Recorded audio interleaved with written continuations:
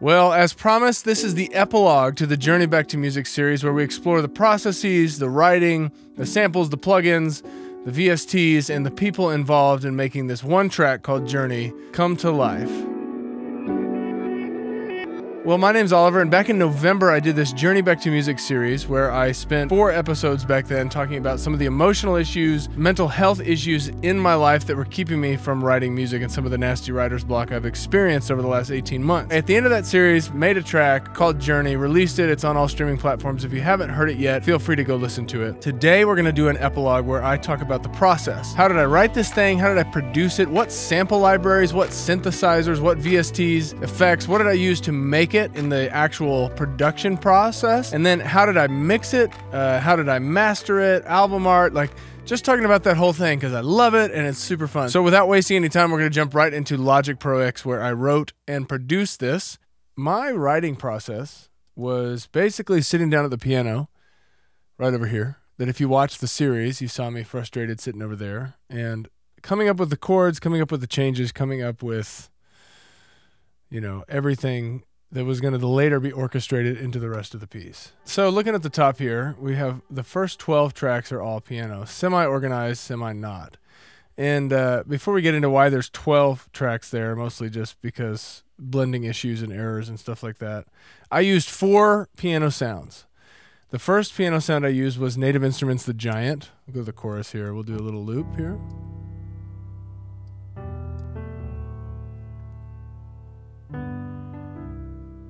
Then I used the Simcock felt piano from Spitfire. That's a good one. A lot of mechanical noises in there that aren't Una Corda. Because Una Corda is so popular right now, I have to move away from it. I used the Grandeur by Native Instruments, which is kind of like a baby grand. Just totally turned off the high end on it. And it's just this beautifully intimate but it didn't have enough to really drive the whole track. And then finally, same thing, just copied over and did the Una effects by themselves.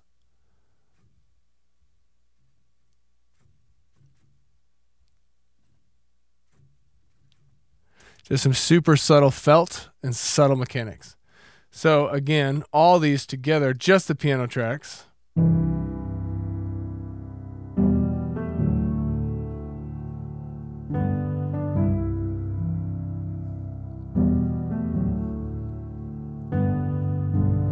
And I like the way that they blended from the super warm ones to the really bright giant. It's like there's almost some like phasing issues there in a beautiful way that created kind of a chimey high end and it just it spoke to me. So anyway, I moved on, did all that, and we came down here and I had some synth leads that played some of the uh, string parts. This synth right here is called Warm Smell.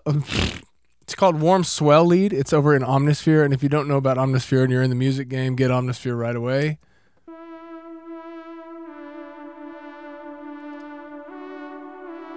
It's so funny. Like this wouldn't sound good on its own, nor would it fit the vibe.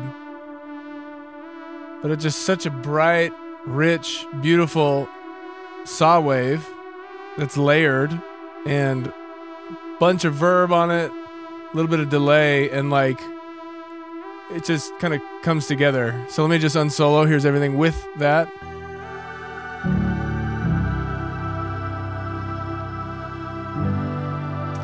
So then if we move down here, there is what about six tracks of Ross Christopher playing the, the cellist and the way I produced his cello, he sent me a really really beautiful recording of it. I just did a little bit of compression, tried to scoop out a little bit of the low and really boost the highs and get some of that like uh, gritty high end cello sound, some of the transients there, as well as sending it to some robust reverb, the LX480, which if you don't know what that is, it's a really good reverb. So here's Ross by himself.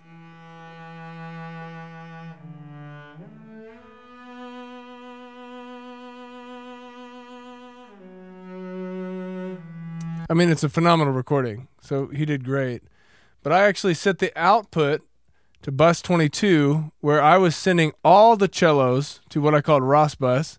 So all six tracks are coming here, a little bit more compression, a little bit more EQ, and then going out for stimming. But I compressed this track, double compression, and then I also added it, sent it to uh, bus 21, which if we go over to the mixer was Ross Verb, and it was the LX480. The LX480 is made by Relab, and it's just a really beautifully customizable digital reverb that just, I mean, you can make the tail really, really long, which for cinematic stuff, not only does it help create the space, it just creates an ambiance. So, anyway, back to Ross, fully produced in the whole thing.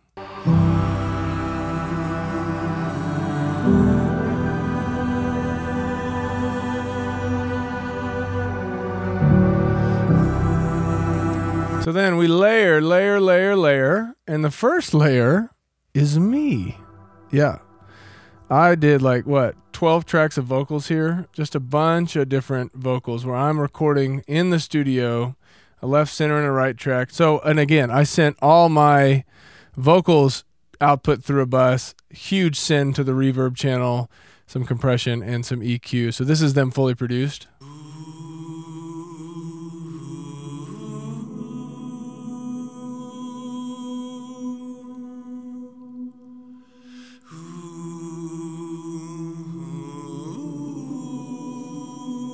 You know, I wasn't even in that much of tune, but I think that added a little bit of life to the track. And I come down here. No, I'm not going to play the dry signal for you. no. No, I'm not playing it. Then over here, I just did some effects, like some breathing.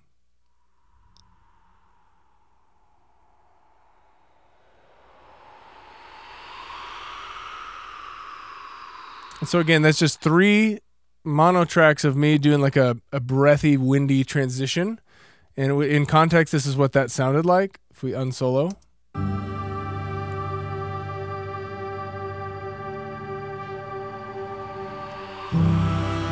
So then what do I do with pads? Other Omnisphere pads, I have like, you know, 20, 30, 40 tracks of just pads. And this is where I go into Omnisphere.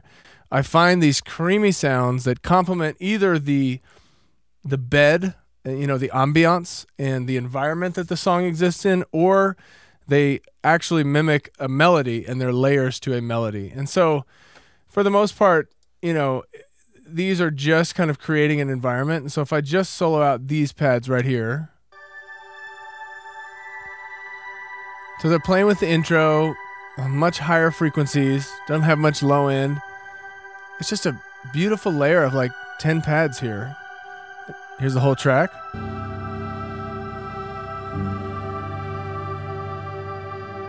So that's that. That's how we produce the track. I mean, no word from Zane. Haven't heard if they had a baby or not. So that was that. I mean, that's how we produced the whole whole freaking thing. I mean, I just love the collaborative process because for me, I'm only I believe I'm only as strong as my weakest link. And in this thing, you know, my weak spots are all over the place in mixing. And so to have all these other people help me was was huge. So just to give some shout outs. Nate Happer was incredibly instrumental in actually encouraging me to do this. Zane Callister has always encouraged me to make music and has never stopped encouraging me, so he's instrumental in this as well. Grace Casey, she designed the album art. She's designed many of my album arts and all my branding stuff, and she just did a phenomenal job on this one. When I got back her her idea of putting a mountain in the middle of my head, it like re-inspired me to write this thing and so huge shout out to her. And then ross christopher was the, uh, the cellist on this thing. He recorded his own cello sent it over and I put it in and mixed it, and that just took this to the, another level. Jared Logan down at JTL Studios in Grandview, Missouri, is the one who mixed it, and then Brian Calhoun mastered this thing, and all of which I'm just so thankful for everyone involved. Okay, well, thanks for watching. If you're a music nerd, I hope this really helped, and uh, if you have ideas for how I can improve, I'm always open to that. The uh, only other video I've made about the music process was about producing strings a couple years ago, and it's like the critiques I've gotten from that video have made me so much better. So I'm always open for that. As always, hit subscribe. We're growing this year, 2019, and love ya.